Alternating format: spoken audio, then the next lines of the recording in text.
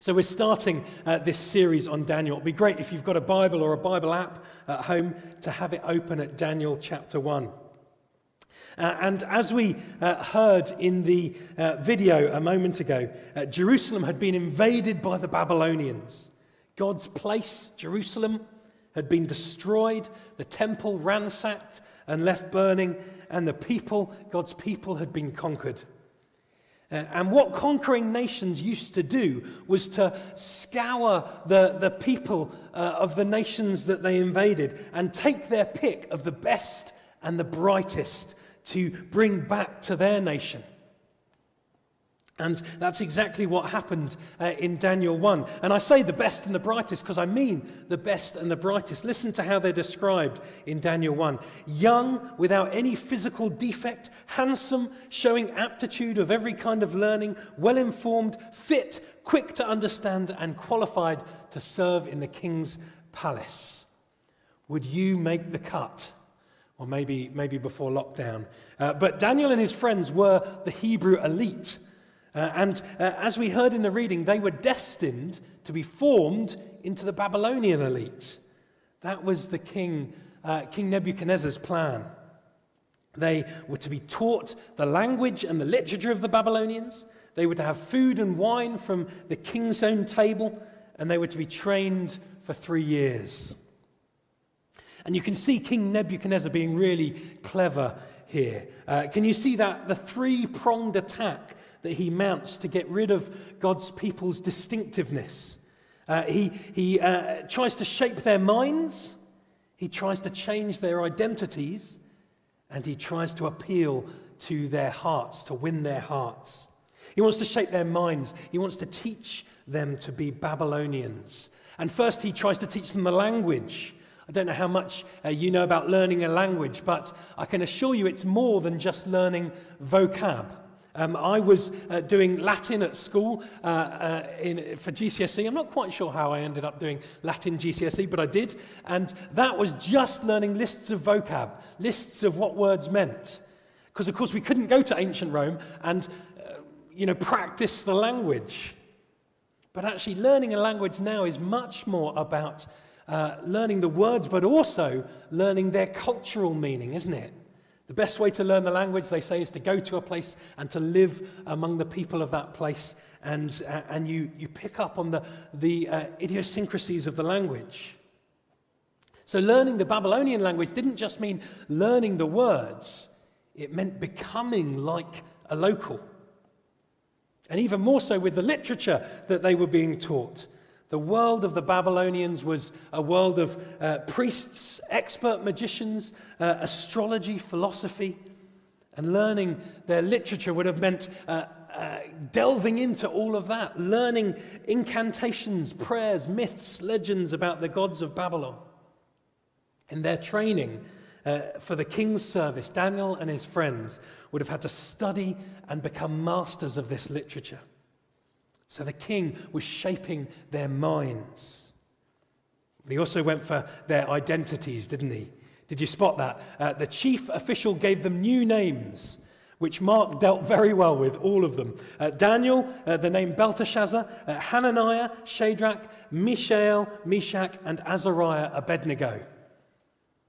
And you can see it's another nail in the distinctiveness coffin here, isn't it? Uh, it's not just a simple name change. Names meant so much more then uh, than they tend to now. In Hebrew, Daniel means God is my judge. And that's referring to the God of Israel, Yahweh, Daniel's God. But it wouldn't work having one of the Hebrew, one of the Babylonian elite walking around being called uh, the, the Hebrew God is my judge. And so they changed it to Belteshazzar. Shazzar means protecting the king, and Bel apparently being another name for the chief uh, Babylonian god Marduk. So uh, God is my judge, Yahweh is my judge, becomes Marduk, protect the king. And each of the other names meant something different to do with the Babylonian gods. Nebuchadnezzar tries to shape their minds and he tries to change their identities and then he tries to win their hearts. And what's the route to someone's heart? Uh, well, certainly, uh, two people in my family, uh, the route to our hearts is certainly what's going on the dinner table. Um, that's me and Emma, and I can uh, recount to you a, a conversation that happened uh, between me and my youngest Emma the other day. In one of those days between Christmas and New Year, that you can never remember which date is which, um, and we had had a walk out on the beach with the dog, and we were coming home for tea, and Emma uh, came up beside me and said, with a twinkle in her eye, I've just found out what we're having for tea. And she was really excited. And then I started to get really excited because food motivates both of us. And uh, she said, uh, We're having leftovers in bubble and squeak. And already I was excited. I mean, everyone loves leftovers, but put them all in a pan and fry them up together, even better. But I could see there was more. There was a bigger gleam in her eye as she leaned in uh, to my ear and said, With sausages. And my day was instantly made 100% better. Hearing that we were going to have leftovers in Bubble and Squeak with sausages uh, changed how I was feeling right then. And the king tries to do exactly the same to Daniel and his friends. The king, we're told, assigned them a daily amount of food and wine from his table. The best food, the, the uh, choicest wine from the king's own table. They were being literally treated like kings. And it was a glimpse. It was a glimpse of what it could be like if they studied hard and they submitted to the king. They could be in the club, part of the Babylonian elite. That's what was being laid out in front of them membership into this club. Daniel and his friends, all this could be yours. I don't know if you know uh, the origin of that, that, phrase, all this could be yours, but uh, you can uh, read it in, uh, in the Bible uh, when Jesus is taken out to a, a, a solitary place and tempted by the devil. We'll be thinking about that uh, again later on when Lent starts. Uh, but that's our second reading today. We're not going to have it read out now, but if you've got your Bibles there, you can see it in Matthew chapter 4. And uh, Satan takes uh, Jesus up to a high mountain and he lays the world out before him and says, all this could be yours. Daniel was being given the same with Babylon. All this could be yours. What would you choose? Babylon stands there before you and says, Your nation's been conquered. Your holy city has been burned. Your temple has been ransacked. The articles of your God have been taken out of your temple and displayed as spoils in another God's treasure house. And then you're offered this choice become one of us. Not just one of us, but one of the best of us. Become one of the Babylonian elite. Just sign up to our culture, pledge allegiance to the king, subscribe to our worldview, and you're in. Maybe that seems far away, but maybe we can rephrase it. Take it out of Babylon and ground it closer to home. What would you choose? Society stands before you as it so often does. I was reading an article in a paper the other day that said almost exactly this Society stands before you and says, Your church is in decline. Your practices are archaic. Your scriptures uh, need to be uh, thrown out or at least changed to fit in with modern culture. Your beliefs are outdated or ridiculous or both. See sense, see reason, join us. Just like uh, Daniel being tempted, uh, just like Jesus having all that laid before him and being tempted. We're tempted as we look around the world, aren't we, in different ways? But Daniel 1 says, But Daniel resolved. This is the start of Daniel's stand. Those three words, but Daniel resolved. It looks like he's going to make a stand. What's he going to say? But Daniel resolved not to defile himself. It's getting better. He's really going to show them what's what. He's going to show them what he believes. He's going to tell them uh, what he believes in his heart. But Daniel resolved not to defile himself with the royal food and wine. Wait, what? Out of all of those things, that's what Daniel's got a problem with. Strange, isn't it? He accepts deportation, he accepts re education, he accepts a name change, but he draws the line at what he's going to eat and drink. What's going on here? What's so special about the food uh, and wine from the king's table? Is it a health thing? As the video suggested earlier, was Daniel the first nutritionist? Because we see what happens. He asks for him and his friend to be excused the rich food and the choice wine and instead have vegetables and water. Whether uh, Hananiah and the others uh, agreed with that or not, or whether they were trying to grab the last steaks off the table as they were taken away, I don't know. But sure enough, Daniel and his friends have only vegetables and water, and after 10 days, in the lineup with the others who have been eating the king's food, they look the healthiest and most nourished. So, do we all just take on the Daniel diet? Is that the, uh, the, the teaching from Daniel 1? Should we all become vegetarian? Well, there's nothing wrong with that, of course, but no. There's something more going on here. Sharing the king's table is about more than food, isn't it? It's about entering into a dependent relationship with the king.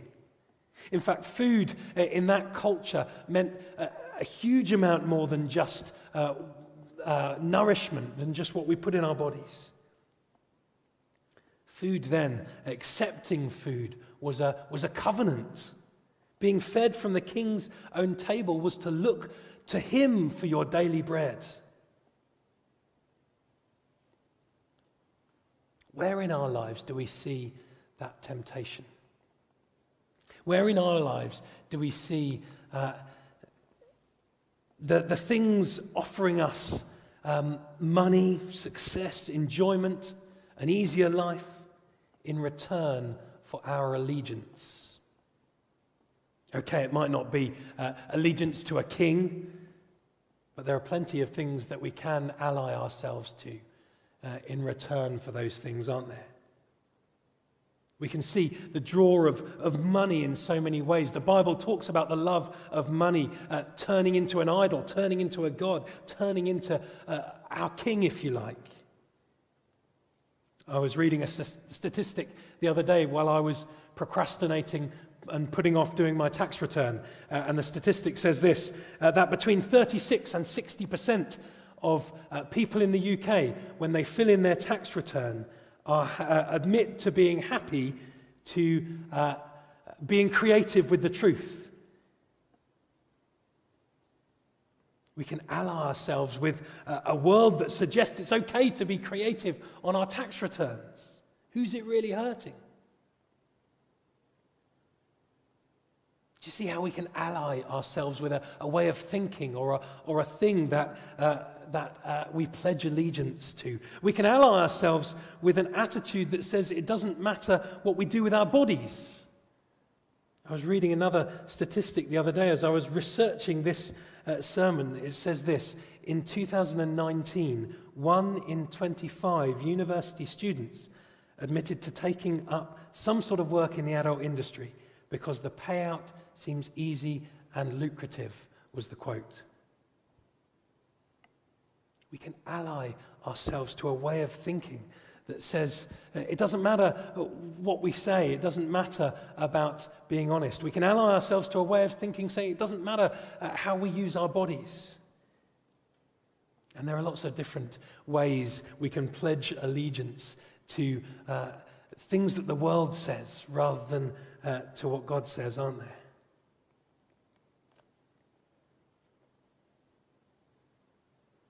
When Jesus was tempted, uh, Satan laid out all those things before him, and they were good things.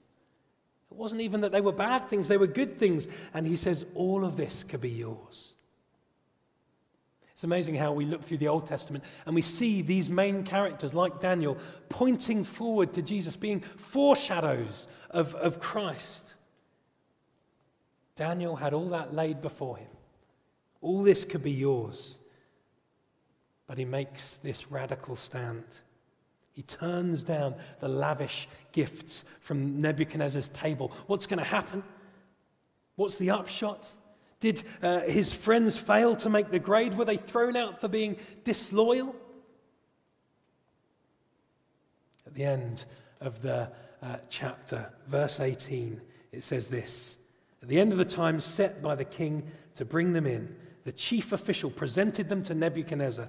The king talked with them and found none equal to Daniel, Hananiah, Mishael, and Azariah. They entered the king's service.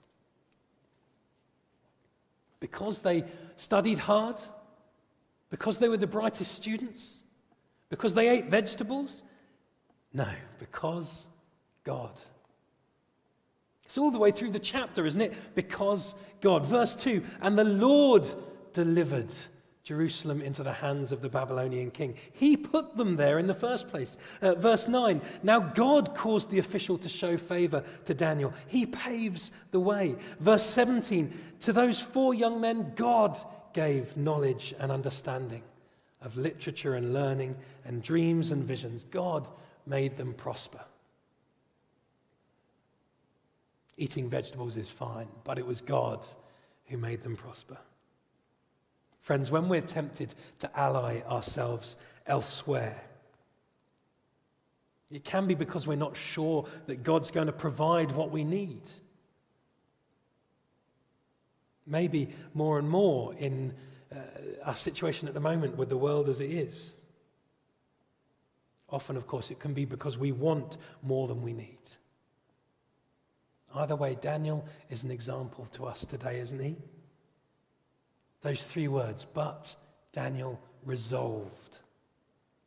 He looked to God. What, what, practical ways can we be doing that? I was thinking the other day, what about grace? Uh, praying bef- grace before you eat seems quite an outdated thing, doesn't it? It's something the Victorians really did a lot. But uh, actually, it's a statement, isn't it? Praying before you eat is a statement. You're saying, I-, I know who this food came from. Ultimately, not just Tesco or the Sussex peasant. I know who this food came from, and I'm thanking you, God, for it. What about grace before our tax returns, too? Maybe that's a good idea. I'll, be doing mine still within the bracket of time. I know it's late, uh, but I'll be doing mine. And when I write my name at the top of that form, it will say Daniel, not Belteshazzar. It'll be a reminder. What about if we were to pray before we did things like our tax returns? Thank you, God, for the money that you've given me, for the resources that you've given me, uh, reminding ourselves who it's from and asking Him to use, uh, for us to use it wisely and well. What about if we pray before uh, all these little things that we do in our lives? Just like grace, reminding ourselves who it is that provides us with these things. We'll hear later on in Daniel that Daniel prayed regularly, doing just that. That's what helped Daniel to resolve. Well, let's pray that he'll be an example to us, shall we? Father God, that word resolve is such a hard thing to do sometimes because we see our world and we see uh, what we need or, or often what we think we need. And we see ways of getting it. But Father, so often those ways are ways that take us away from you and make us pledge allegiance to others or other things or ways of thinking. Father, help us, just like Daniel, to resolve to follow you. Show us those things in our lives where we can uh, pray beforehand and uh, ask you to uh, help us use them wisely. And Father, just like you did with Daniel, we uh, claim that promise that you will bless us through that. In Jesus' name, amen.